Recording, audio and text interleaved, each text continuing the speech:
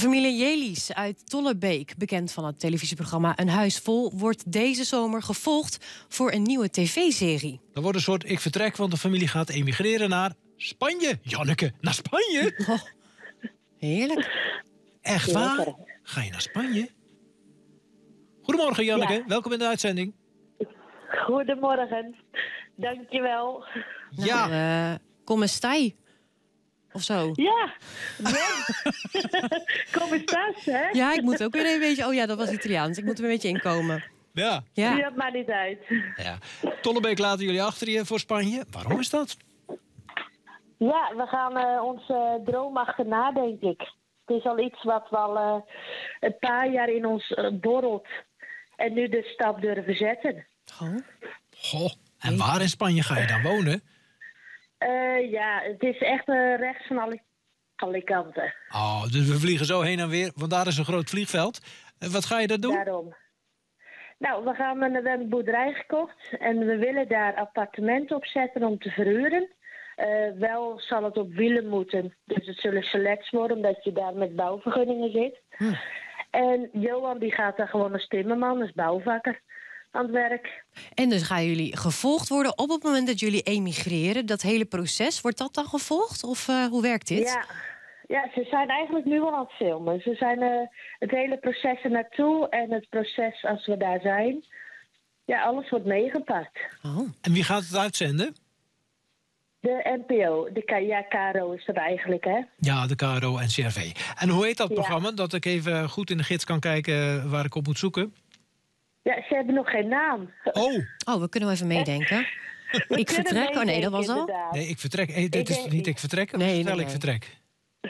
Ik denk iets van een huis vol over de grens of iets in die richting, denk ik. Nou, een eigen programma dan maar. Jelies, eh, Ja. volg de Jelies of zo. Ja. Ja, Ja. met de kraaitjes, hè, zijn we, maar eh, twee gezinnen. ja. Zeg, ehm, je neemt natuurlijk al je kinderen mee. Zijn ze het er allemaal mee eens? Ja, de, de meningen verdeeld. De een die is, kijkt er heel erg naar uit en de ander vindt het heel spannend. En we hebben er ook wel een bij die er echt wel tegenop ziet. Die echt zoiets zet van, wat doe je me aan? Ach, Ja, d- die hebben we. Ja, dat is, dat is lastig. ja. Ja. En Ik gaan jullie, nog wel eens op. Ja. en gaan jullie een huis vol dan eh, niet missen? In ieder geval, ik denk dat de fans jullie wel heel erg gaan missen.